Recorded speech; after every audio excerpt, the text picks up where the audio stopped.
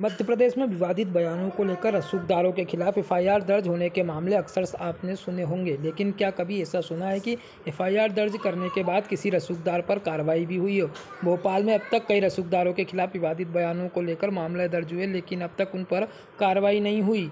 इतना ही नहीं, कई तो ऐसे रसूखदार भी हैं, जिन्होंने कई बड़े विवादित बयान दिए, लेकिन उस पर एफआईआर तक दर्ज नहीं हुई है।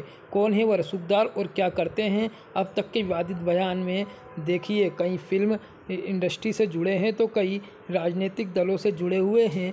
रसूखदार जिनके ऊपर मामले दर्ज हुए हैं। जो पुलिस के लिए जो गाइडलाइंस हैं, वो क्रिमिनल प्रोसीजर कोड ही है।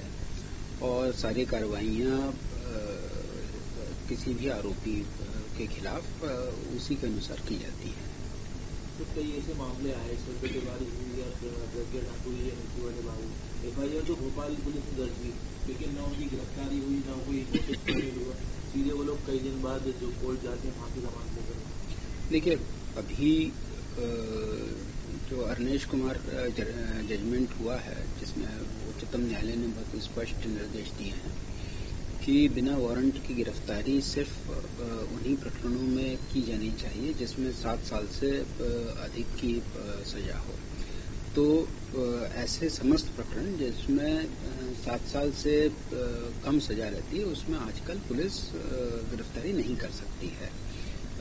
अगर कर भी सकती है तो बहुत ही विशेष परिस्थितियाँ जो न्यायालय को समझानी पड़ती हैं उसके बाद ही कर सकती हैं।